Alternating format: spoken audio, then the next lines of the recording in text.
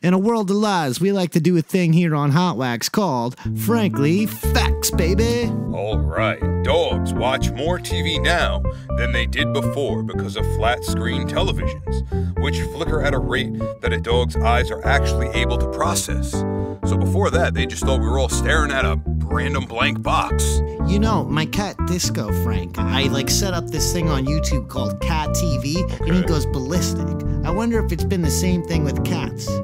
Huh. Beethoven began losing his hearing at the age of 28, so he cut off the legs of his piano so he could sit on the floor and compose music by feeling the vibrations of the piano. I also heard he bit down on a piece of wood as well to feel the vibration. I guess any way to get a good vibe, Frank. Jeez Louise.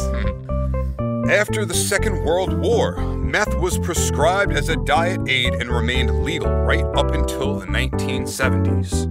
That's one way to lose weight. It's crazy, Frank, because they were putting cocaine in Coca Cola, and then they were like, ooh, bad idea, maybe we shouldn't do that. And it just makes you think what they're giving us now, where there's some type of drug in it. I'm, Yeah. I'm guaranteeing you, Frank, there's something in these beat boxes they're selling at 7 Eleven. These things are nuts. A Second Chance Coffee Company in Illinois conducts FBI background checks to make sure those that are seeking employment in the company have actually been to prison because of the company only hires ex inmates. So if you need a job, just go to prison. Easy enough. That's good news for our buddy Sal the Sausage. Ah, it is.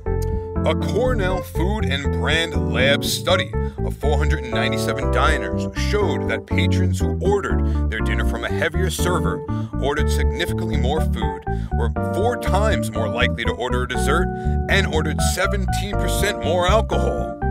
Huh.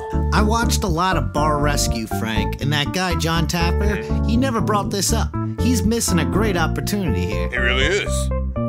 The Muppets creator, Jim Henson, Oh, yeah. believed in allowing a character to grow organically.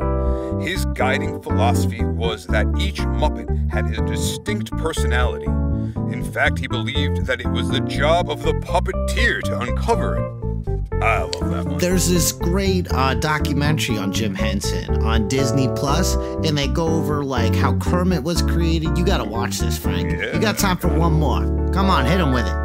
It can take anywhere from 90 to 120 minutes just to hard boil an ostrich egg. And after all that time, I'm sure it's delicious.